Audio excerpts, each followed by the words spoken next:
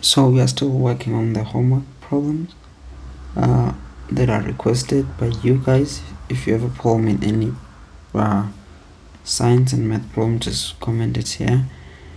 Or yeah just comment here and we'll look uh, we'll have a look on it. Hopefully we'll tackle it.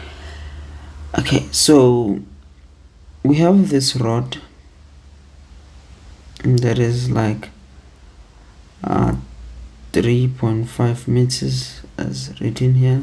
And if you look at the cross section they say it has an area of 5 8 centimeters square in cross section and found to stretch.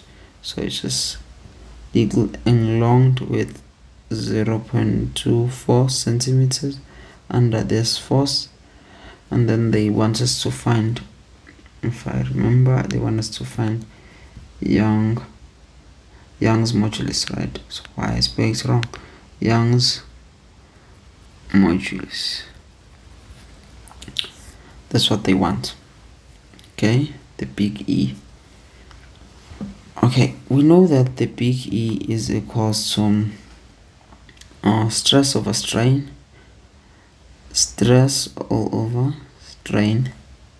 And we also know that stray, uh, stress is force over area. They normally denotes for denotes force with p. I don't know why they do that but it's like that. And our e is going to be change in length all over length initially but because it's in the bottom i have to flip it up and i'll have to times by length o all over change in length. Because it was like this i flip it up so now from here I can put all my data from here. P the force it's given there 4900 times initial length it's given here 3 5 okay this is all over and I have the cross sectional area. This much but now it is in centimeters I want to keep my things in SI units meters.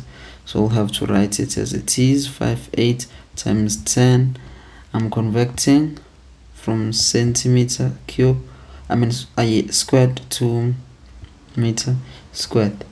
Literally if I was converting to from centimeters to meters I will have a hundred right? Negative two right but now because it's a square I'll have have negative 4 here right? Because it's a square. Okay then I have change in length. Was I given change in length? Oh, or why it stretched this much. So that our change in length is going to be 0 0.24 centimeters. You know it times 10 negative 2 and you plug this in your calculator okay and if I plug it on mine I get an answer of uh, 1 times 2 oh, oh, I said 1 times 1.2 1.2320402 times 10 power 11 uh, remember your young modulus is in PA pascals. And this is the correct answer depending on the correct significant figures that is required